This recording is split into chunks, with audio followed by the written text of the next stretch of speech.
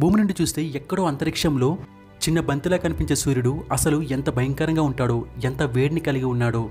సూర్యుడు జన్మించి ఎన్ని కోట్ల సంవత్సరాలు అయ్యిందో ఇలా సూర్యుని గురించి కొన్ని ఆశ్చర్యకరమైన ట్వంటీ ఫ్యాక్ట్స్ని ఈ వీడియోలో చెప్తాను. వీడియో మిస్ కాకుండా చివరి వరకు చూడండి. గోళాకారంలో ఎల్లప్పుడూ మండుతుండే సూర్యుల్లో కొన్ని పొరలు ఉంటాయి. దీనిలో పైన ఉన్న పొరభాగాన్ని కరోనా అంటారు. సాధారణంగా మన భూమిపై వేడి నలభై నుండి యాభై డిగ్రీల సెంటీగ్రేడ్ ఉంటుంది. కానీ సూర్యునిలో మాత్రం ఈ ఒక్క కరోనా పొరలోనే ఇరవై లక్షల డిగ్రీల సెంటిగ్రేడ్ వేడి ఉంటుంది. అంతేకాకుండా దీని లోపల ఉన్న భాగాన్ని కోర్ అంటారు. దీని లోపల వేడి ఒక కోటి యాభై లక్షల డిగ్రీల సెంటిగ్రేడ్ ఉంటుంది. దీనిని బట్టి సూర్యుని వేడి ఎంత భయంకరంగా ఉంటుందో మీరు ఊహించుకోవచ్చు. సూర్యుడు జన్మించి ఇప్పటి వరకు నాలుగు వందల అరవై కోట్ల సంవత్సరాలు అయింది. సూర్యుడు తనకు ఇరవై లక్షల కిలోమీటర్ల దూరంలో వచ్చిన దేన్నైనా తన వైపుకు తిప్పుకోగలడు. దీనిని బట్టి మీరు అర్థం చేసుకోవచ్చు సూర్యుని గ్రావిటీ ఎంత బలమైనదో. సూర్యుని లోపల ఒక సెకండ్కి అరవై మిలియన్ టన్నుల హైడ్రోజన్ హీలియంగా మారుతూ ఉంటుంది. అంటే ఒక సెకండ్కి అరవై కోట్ల టన్నుల హైడ్రోజన్ హీలియంగా మారుతుందన్నమాట. మనకు భూమి నుండి చిన్నగా కనిపించే సూర్యుడు వెడల్పు ఎంతో తెలుసా? పద్నాలుగు లక్షల కిలోమీటర్లు. సూర్యుని లోపల విస్తీర్ణం ఎంత పెద్దదంటే మన భూమి లాంటి పది లక్షల గ్రహాలను సూర్యునిలో పట్టించవచ్చంట సాధారణంగా ఒక పదార్థం సాలిడ్ లిక్విడ్ గ్యాస్ అనే స్టేట్స్ని కలిగి ఉంటుంది. కానీ సూర్యుల్లో మాత్రం సాలిడ్ లిక్విడ్ గ్యాస్ కాకుండా ప్లాస్మా అనే స్టేట్ కూడా ఉంటుంది. మన సోలార్ సిస్టంలో అన్ని గ్రహాలు కలిపితే ఎంత మాస్ ఉంటుందో సూర్యునిలో మాత్రం వీటన్నిటికన్నా ఆరు వందల రెట్ల ఎక్కువ మాస్ ఉంటుంది. మాస్ని తెలుగులో రాశి అంటారు. సూర్యుడు మన అంతరిక్షంలో ఉండే సూపర్ మ్యాసివ్ బ్లాక్ హోల్ చుట్టూ ఒక సెకండ్కి రెండు వందల ఇరవై కిలోమీటర్ల వేగంతో తిరుగుతూ ఉంటాడు. సూర్యుని నుండి మన భూమికి గల దూరం పద్నాలుగు కోట్ల తొంభై ఆరు లక్షల కిలోమీటర్లు. ఈ దూరాన్ని ఆస్ట్రోనామికల్ యూనిట్ అంటారు.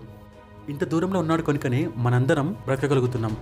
మనం దేనినైనా కొంచెం ఎక్కువ వేడి చేస్తే అది విస్ఫోటనం చెంది పేలిపోతుంది. అయితే మీకు ఇక్కడ ఒక డౌట్ రావచ్చు. ఇన్ని లక్షల డిగ్రీల సెంటీగ్రేడ్తో మండుతున్న సూర్యుడు ఎందుకు పేలిపోవట్లేదని? దీనికి గల కారణం ఏంటంటే సూర్యుని మధ్య భాగంలో తయారైన హీలియం గ్యాస్ ఎనర్జీ నిరంతరం మండుతూ బయటకు రావడానికి ప్రయత్నిస్తుంది. కానీ సూర్యుని గ్రావిటీ మాత్రం ఈ ఎనర్జీని బయటకు రానివ్వకుండా మధ్య భాగంలోకి లాగుతుంది. అందుకే కొన్ని వేల కోట్ల సంవత్సరాల నుండి సూర్యుడు పేలిపోకుండా బ్యాలెన్స్ అవుతూ వస్తున్నాడు. సూర్యుని నుండి భూమికి కాంతి చేరడానికి ఎనిమిది నిమిషాల ఇరవై సెకండ్లు పడుతుంది. మీరు ఇప్పుడు చూస్తున్న సన్లైట్ అంటే కాంతి ఇప్పుడు తయారైంది కాదు. ఇది కొన్ని కోట్ల సంవత్సరాల క్రితం తయారైంది. క్లియర్గా చెప్పాలంటే కాంతి తయారవడానికి ముఖ్య కారణం పోటాన్ ఈ పోటాన్ అనేది కాంతిని క్యారీ చేసే ఒక ఎలిమెంటరీ పార్టికల్. ఇది సెకండ్కి మూడు లక్షల కిలోమీటర్ల వేగంతో ప్రయాణిస్తుంది. దీనికి మాస్ ఉండదు. అయితే ఈ పోటాన్ సూర్యుని లోపల నుండి బయలుదేరి బయటకు వస్తున్నప్పుడు ఇది దారిలో దానికి అడ్డం వచ్చే ప్రతి ఆటోమ్ని అంటే అణువులను తాకుతూ వస్తుంది.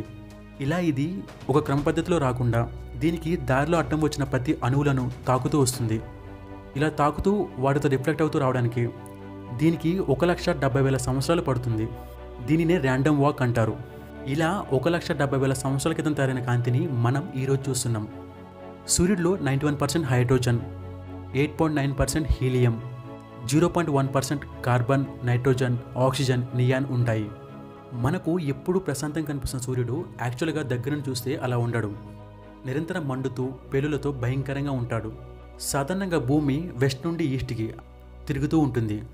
కానీ సూర్యుడు మాత్రం దీనికి రివర్స్గా ఈస్ట్ నుండి వెస్ట్కి తిరుగుతూ ఉంటాడు. సూర్యుని మీద భూమి కంటే పద్దెనిమిది రెట్ల ఎక్కువ ఆకర్షణ శక్తి ఉంటుంది. ఫర్ ఎగ్జాంపుల్ ఇక్కడ భూమి మీద మీ బరువు అరవై కిలోలు ఉంటే అదే సూర్యుని మీద మీ బరువు ఒక వెయ్యి ఎనభై కిలోలు ఉంటుంది. సూర్యుని బరువు ఎంత ఉంటుందంటే తొంభై తొమ్మిది పాయింట్ ఎనభై ఆరు శాతం. అయితే మన భూమితో పాటు మిగతా గ్రహాలన్నీ కలిపి just zero point one four percent మాత్రమే బరువు ఉంటాయి. ఒక సెకండ్కి సూర్యుని నుండి రిలీజ్ అయ్యే ఎనర్జీ ఈ ప్రపంచం మొత్తానికి వెయ్యి సంవత్సరాల వరకు సరిపోతుందంట.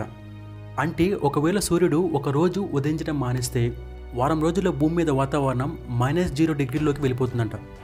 అంటే భూమి మీద ఉన్న ప్రతి జంతువు మనుషులు ఐస్లాగా గడ్డకట్టిపోతారన్నమాట సూర్యుని వయస్సు నాలుగు వందల అరవై కోట్ల సంవత్సరాలు. అయితే సూర్యులో ఉన్న హైడ్రోజన్ సగం పైన ఆల్రెడీ అయిపోయింది. ఇంకొక మూడు వందల కోట్ల సంవత్సరాల తర్వాత సూర్యుడు ఇప్పటికన్నా ఫార్టీ పర్సెంట్ ఎక్కువ వేడిని కలిగి ఉంటాడంట. ఇంకొక ఏడు వందల కోట్ల సంవత్సరాల తర్వాత సూర్యుడు ఇప్పటికన్నా రెండు వందల రెట్లు పెద్దగా మారి చాలా గ్రహాలను మింగేస్తాడంట. ఈ గ్రహాల లిస్టులో బుధుడు కూడా ఉన్నాడు. ఈ ట్వంటీ ఫ్యాక్ట్స్లో మీరు సూర్యుని గురించి ఎంతో కొంత సమాచారం నేర్చుకున్నారనుకుంటున్నాను. ఇన్ కేస్ మీకు ఈ వీడియో నచ్చినట్లయితే లైక్ చేయండి. నా నెక్స్ట్ వీడియో మిస్ కాకూడదు అనుకుంటే నా ఛానల్కి సబ్స్క్రైబ్ చేసుకోండి. Thank you.